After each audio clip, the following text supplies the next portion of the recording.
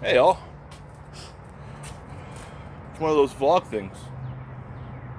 So today, this time, and this. Fuck.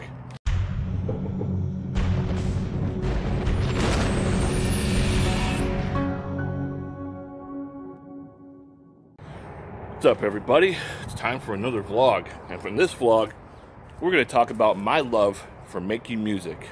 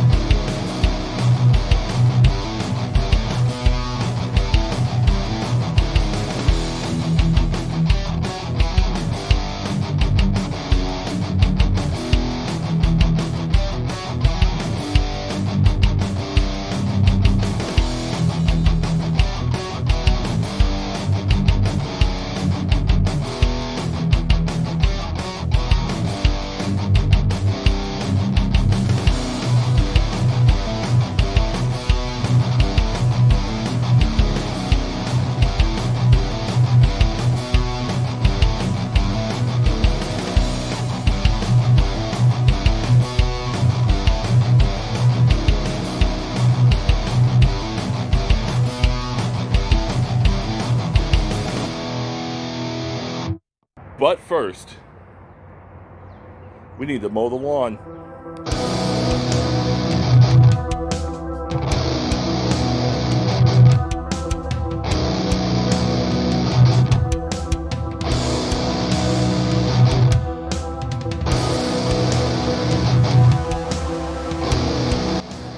Well, the backyard's done. Let's move on to the front, shall we?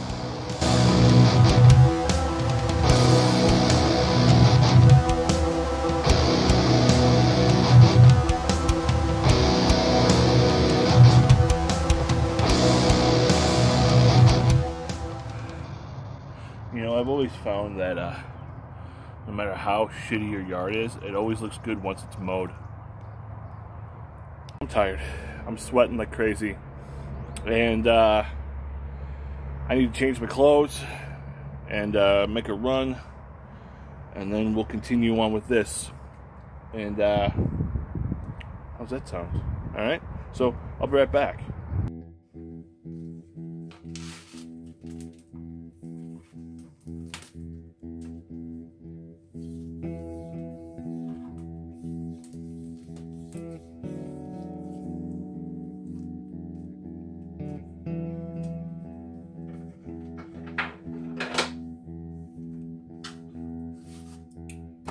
My shirt. And here we are. This is uh this is my studio where all the magic happens. So got my uh, monitor speakers, these are nothing special. Um they're cheap. And we got my rack mount EQ, which I never use, my tuner, which I do use. Um, I got a uh, electro harmonics um, metal muff and a decimator 2 noise gate. Bottle of mountain dew and my pc which i originally built for gaming and streaming. So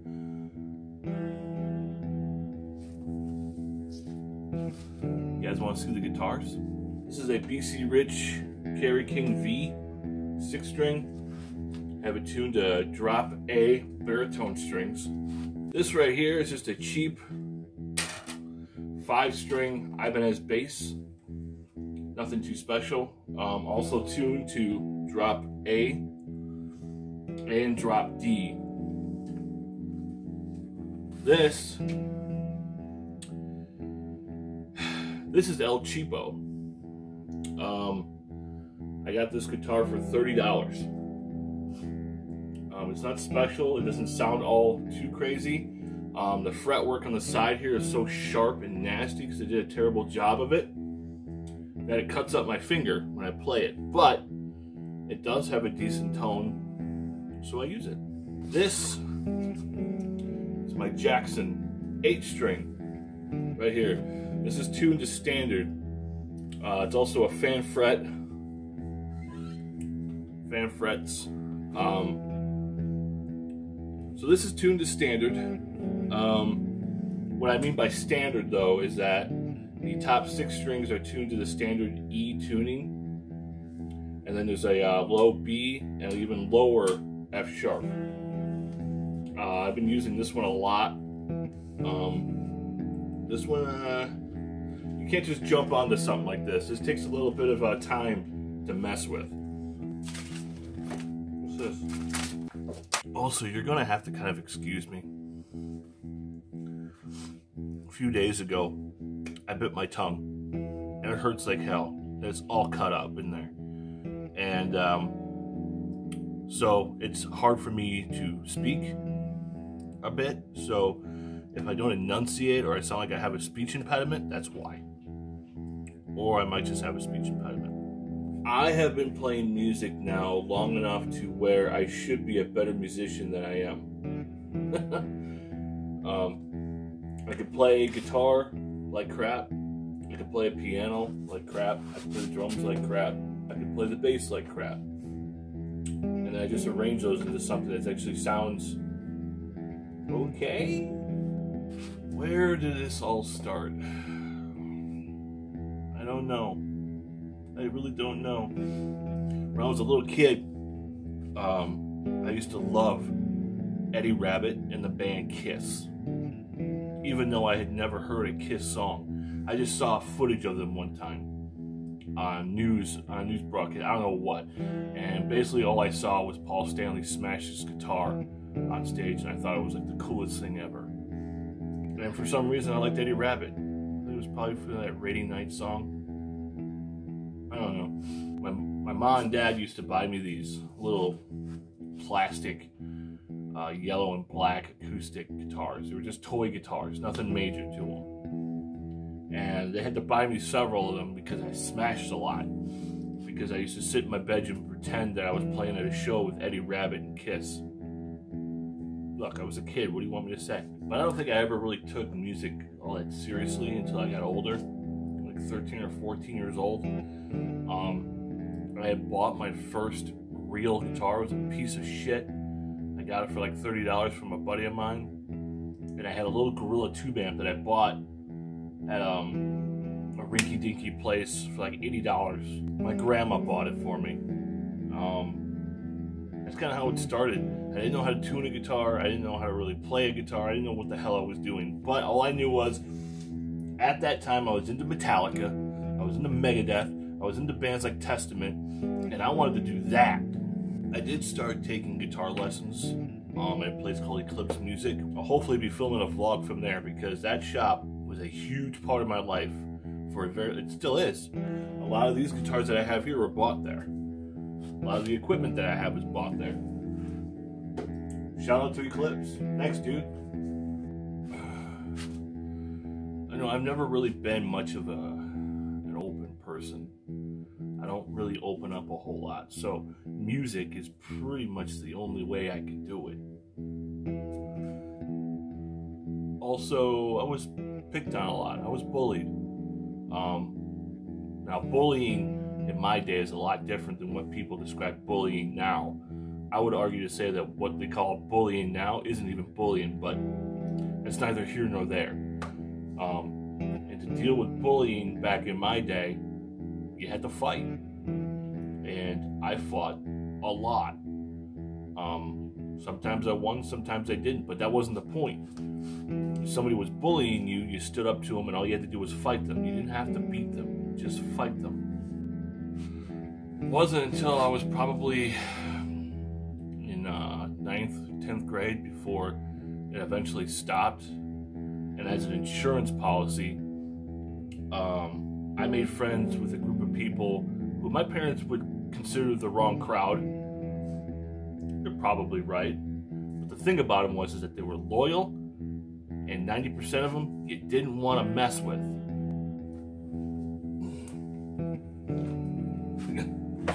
Smoky down here. You know, it also helped that we are all into the same, you know, type of music. We are all very much into heavy metal. Um, what we love to do, and I wanted to play it, and that's what I did. It was nice. Now I've I've I've been in a lot of bands um, in my day. Uh, some that no longer exist, some that have gone on to do wonderful things. Uh, but there are two, two that I remember the most, and I, you know, I'm very fond of. A band I formed with my buddy Jason.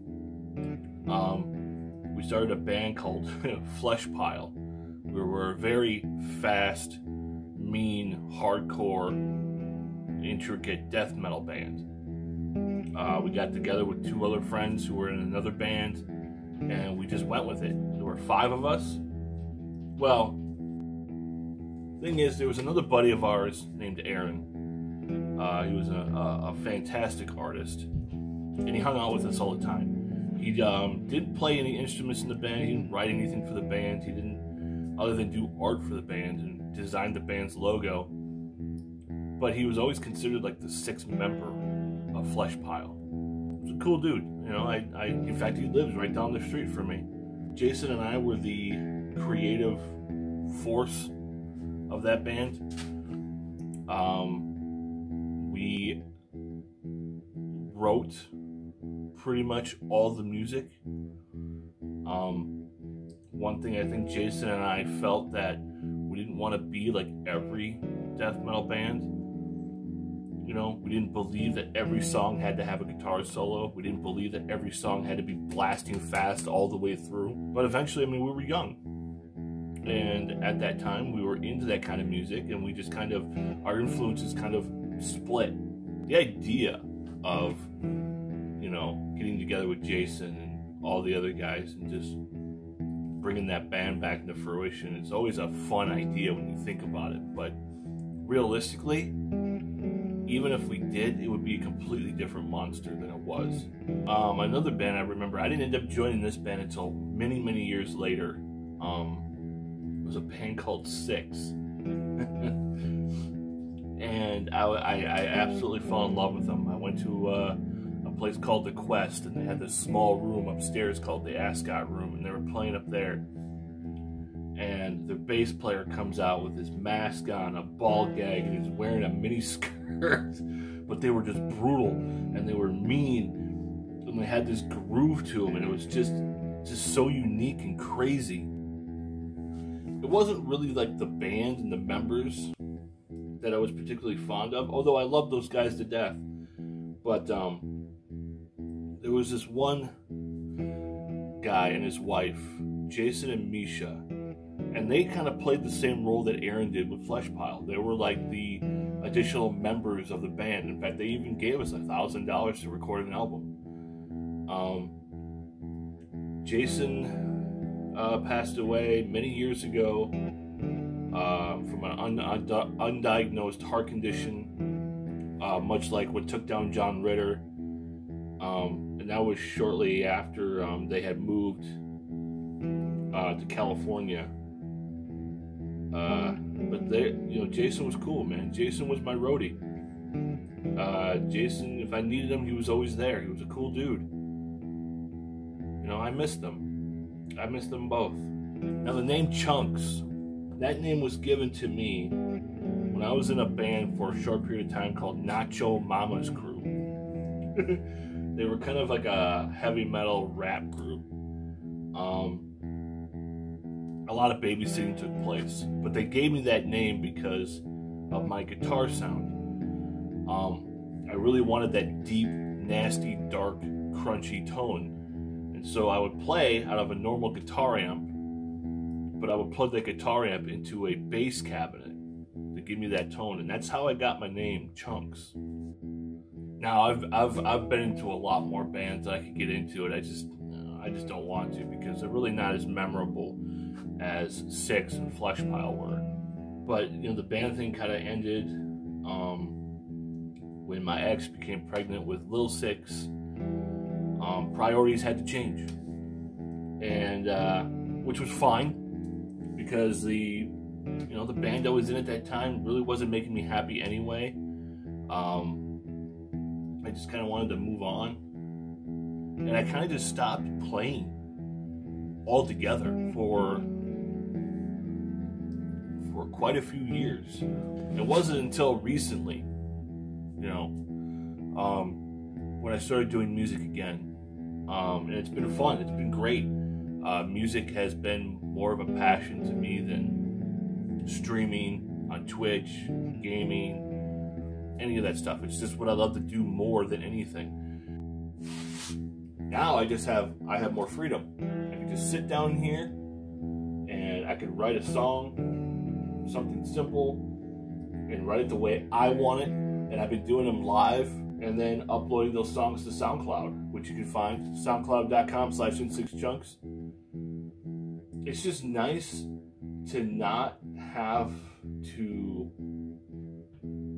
write music for other people.